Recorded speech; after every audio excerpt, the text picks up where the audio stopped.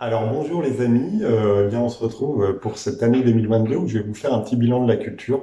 Alors je savais pas trop si j'allais le faire parce que du coup bon voilà c'est vrai que que je me sens pas super à l'aise à en parler. Puis bon je balaye super vite les films et les livres mais j'ai envie d'en parler parce que ça c'est un on va dire que c'est quelque chose de très important dans ma vie. C'est quelque chose qui prend beaucoup de place. Donc voilà c'est pour ça que j'ai envie d'un peu faire un bilan de, de la culture malgré tout assez rapide, juste pour dire euh, ce que j'ai vu et ce que j'ai lu. Donc la première vidéo, là, ça va être les, films. Alors cette année, eh bien, j'ai lu, euh, j'ai vu 135 films. Donc je trouve que le chiffre n'est finalement pas si bas que, que ça, hein, comparé aux, autres années.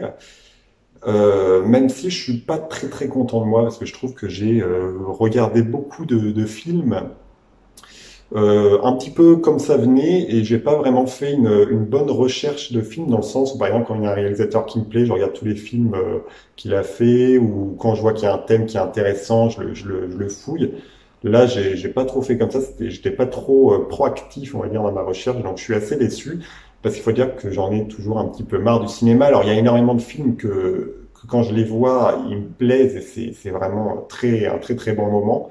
Mais pour voilà, pour un film excellent, euh, il doit y en avoir au moins 10 qui, sans être mauvais, sans être particulièrement mauvais, en fait, euh, je me dis, euh, bon, ben, j'ai perdu mon temps en les, en les regardant et, de plus en plus, je me dis ce genre de choses. Donc c'est pour ça que je sais pas comment faire. Soit je consacre plus de temps au cinéma et du coup, bon, il y a un camion qui passe donc euh, voilà, je ne sais pas trop comment faire. Soit je consacre plus de temps au cinéma et du coup je perds peut-être plus du temps sur autre chose. Soit je, soit ben, je regarde moins de films et du coup ben, j'ai moins de connaissances en cinéma parce que j'ai envie de parler de cinéma. Donc, donc ça c'est pour le premier thème. Alors voilà, 135 films vus, 22 films que j'ai revus. Donc il y a quand même pas mal de films que j'ai revus.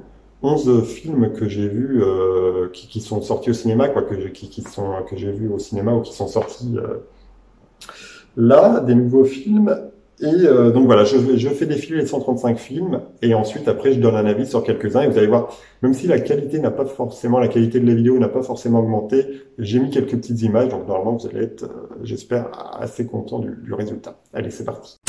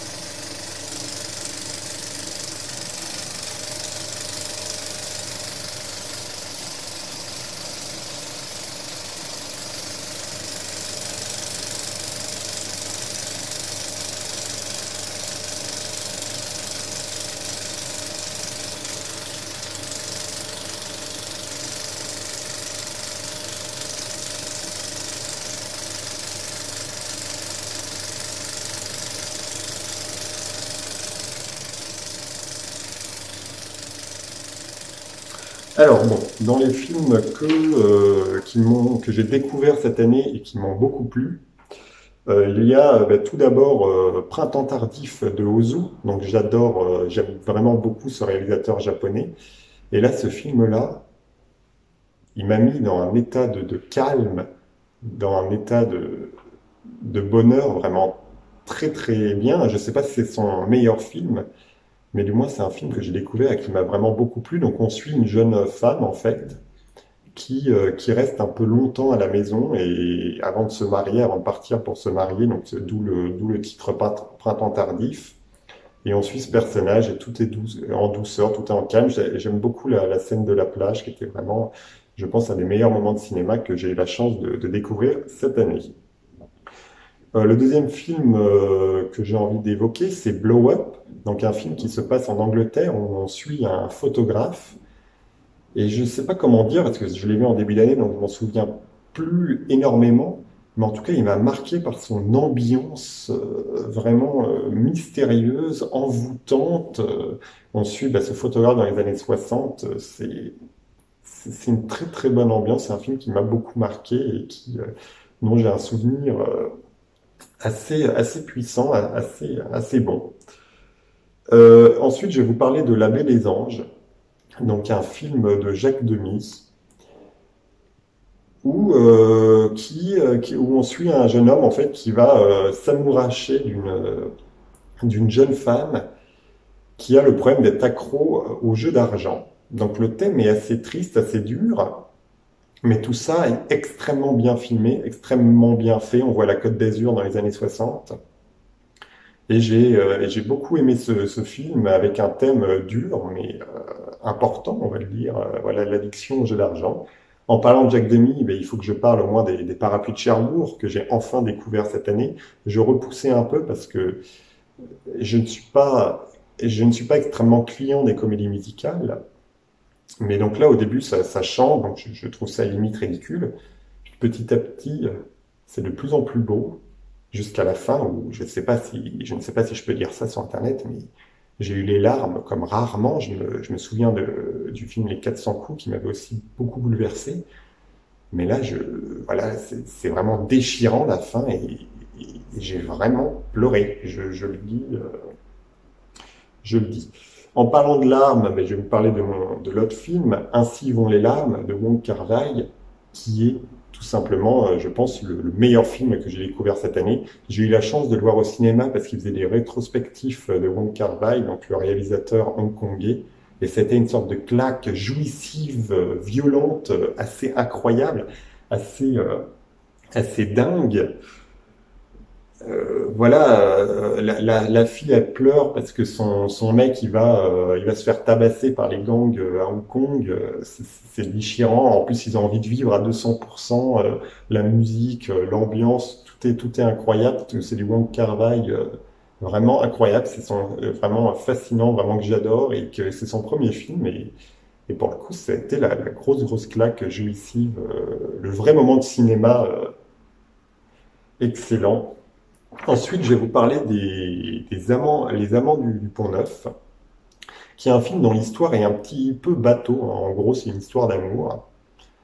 Mais en, parlant de moments de cinéma, là, c'est du vrai cinéma. Euh, je trouve que tout était d'une virtuosité assez, euh, assez dingue, avec tous ces feux d'artifice, euh, notamment la scène des feux d'artifice, avec c'est du cinéma euh, génial, euh, génial, vraiment. J'ai vraiment été euh, marqué par ce film malgré tout. Et ce qui était assez incroyable, c'est qu'en fait tout ça, ça a été fait dans un décor. Ils ont reconstitué dans le sud de la France, je crois, le Pont Neuf avec les immeubles autour, pour pouvoir se permettre autant de, de choses, autant de moments euh, géniaux qui n'auraient pas pu se faire en, en plein cœur de Paris.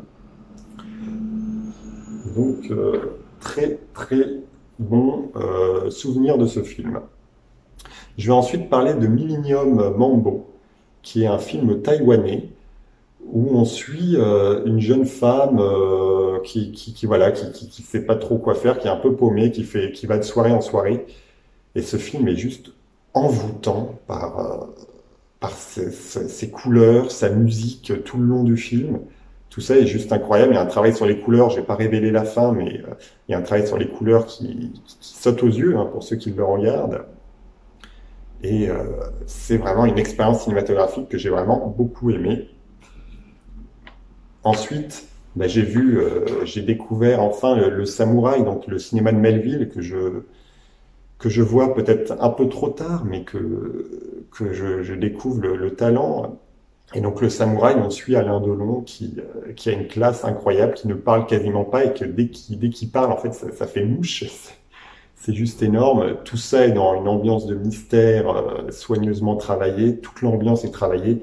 Ce film est juste un très très grand film euh, avec une ambiance hors du commun. Euh, vous aimez bien les gens qui parlent pas et, quand il se passe rien et que, la gestion des silences, la gestion de l'ambiance mystérieuse, c'est une très très grosse, très très bon film que j'ai découvert. Une, une bonne leçon de, de cinéma. On peut oser dire ça. Ensuite, euh, ben, je vais vous parler de All Joy, donc un, film euh, assez récent, un film américain, où on suit deux amis qui partent faire une randonnée dans la, dans la forêt. Et on se sent que, les, que ces deux amis, ben, ils sont plus trop, ils ont pris des chemins différents, donc ils sont, ils s'entendent, euh, ils sont plus trop dans le même, dans le même état d'esprit.